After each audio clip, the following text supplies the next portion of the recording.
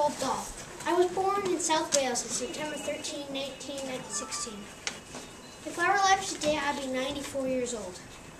I went to Mombasa, Africa to the Shell Oil Company in 1938. Then World War II broke out. I was assigned to Border Patrol. It was my job to stop the Germans from leaving town. German man put, put a Luger to my chest and said, I'll shoot you if you do not let us pass. The one my squad shot in the face right in front of me. I joined the Royal Air Force and became a pilot. I was told to fly across the mountains to join my squadron, but they gave me the wrong directions. I was running out of fuel, so I had to land. I crash landed, my plane blew up with me in it. I just managed to get out with severe burns and a few broken bones. I was sent to Greece to fight.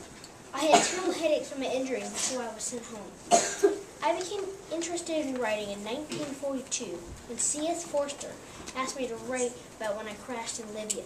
The first book I ever wrote was The Gremlins. I'm best known for having written Charlie and the Chocolate Factory.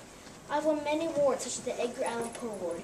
I died in 1990 when I was 74 years old.